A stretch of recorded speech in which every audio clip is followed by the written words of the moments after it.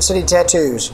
Do a resistance check on a on a coil. I want to show you guys real quick exactly uh, what you're getting with uh, hand wound coils uh, and uh, say an import uh, coil like this.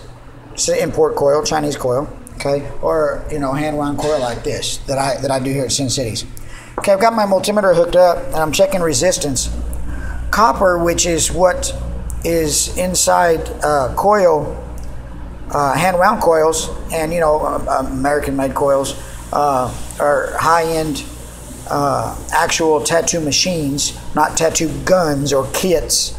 Uh, actual tattoo machines that are of any real value use copper wiring inside the coil. Okay, this is insulated copper, so that's why the green is on the outside. However, uh, all that aside, uh, this import one is copper plated over aluminum. Okay. Uh, copper is the least resistant of all electrical, uh, you know, conductors.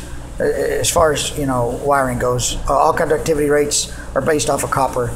Uh, so it has the least amount of resistance. A properly wound coil, eight wrap coil, should be have a resistance of 1.5 per coil. Mine is 1.1. Okay.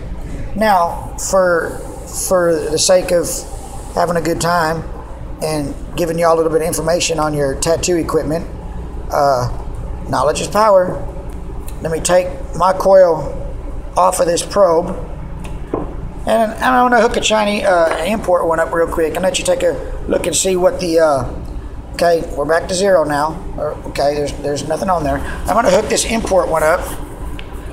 And uh, hang on one second. So bear with me. Okay, that's that's what we got. It's to skip around a little bit. The lowest I seen was 3.2, I think. Uh, 3.8. Okay.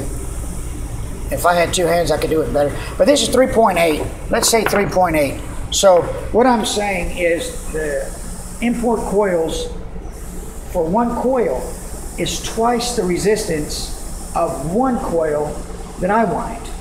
The reason that's important is because resistance is a, a measurement of how how fluid your electrical current is through your machine. Let's just say fluid. Okay, it's easy to understand. Uh, it doesn't have to fight as much to get through my coils as it does import coils. And that's important because the tattoo machine runs off of uh, uh, DC power um, and it energizes the copper around those iron uh, cores and it makes a magnet.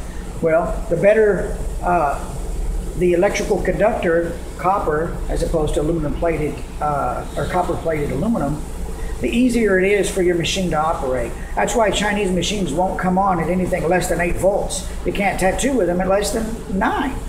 My machines will come on at 3.5 volts. You tattoo with them all day at 5.5, 6 volts. Big difference. Know your equipment.